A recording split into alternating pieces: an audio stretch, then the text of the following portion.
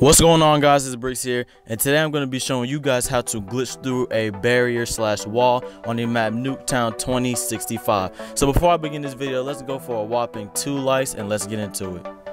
So all you want to do is come up to the spot that I'm going to in this house, go up the stairs and go into the room until you see this mannequin. Once you see this mannequin, all you want to do is just jump on top of the mannequin and push back on your left analog stick so you can glitch through this wall. Now, if you do it wrong, you will actually fall through, but if you do it right, you will get stuck.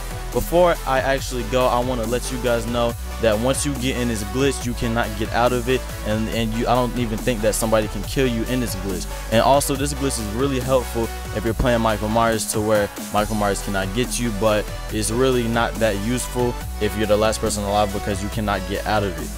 So if you have enjoyed or found this video helpful, don't forget to make that gray button blue, and I'll see you guys in the next video.